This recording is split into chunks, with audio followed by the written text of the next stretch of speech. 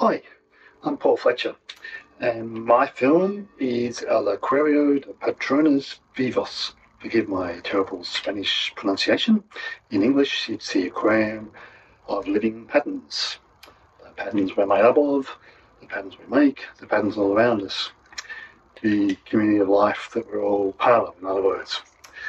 The film is made up of dozens of uh, little patterns all laid on top of each other and rearranged in different orders and sequences and um, combinations. Some of it started off with video footage I took or photos, some completely synthesized in the computer. By the time I've manipulated the video footage, reduced it to its uh, barest movement or a few colours, um, it starts to appear like it's been totally synthesized anyway. This timeline shows the final edit stage, but inside this clip is all this stuff.